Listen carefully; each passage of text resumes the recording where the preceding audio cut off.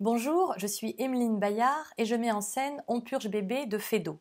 Alors On purge bébé, c'est la rencontre entre un couple, Julie Folavoine, qui vit une scène de ménage absolument hilarante pour le public, Chouillou qui vient négocier un gros contrat, qui est cocu, qui ne le sait pas, sa femme qui débarque avec son amant, là-dessus le fils des Folavoine tyrannique qui met son grain de sel, bref, je vous laisse imaginer à quel point tout ce petit monde va être complètement ébranlé. C'est une comédie de mœurs, c'est un huis clos extrêmement drôle, et je tenais absolument à révéler, alors que ces personnages sont comme enfermés dans l'appartement, la frénésie des corps et des âmes au bord de la crise du nerf. J'ai voulu pousser le curseur de l'humour à son paroxysme en réintégrant entre autres quelque chose qui s'est perdu mais qui était obligatoire dans les vaudevilles avant 1864, les couplets chantés.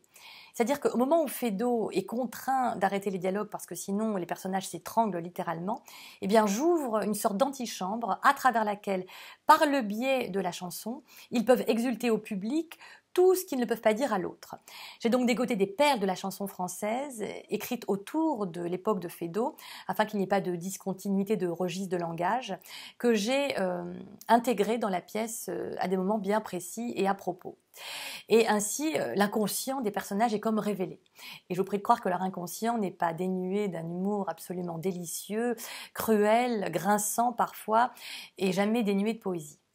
L'autre particularité de la mise en scène, c'est qu'il y aura un clin d'œil euh, à Paris, parce que Fédo, c'est le Paris de la belle époque, et euh, qui sera accompagné de beaucoup de surprises, mais ça, je ne vous en dis pas plus, je vous laisse découvrir quand vous viendrez voir le spectacle.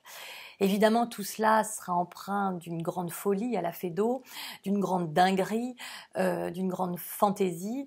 il y aura beaucoup de panache et d'élégance.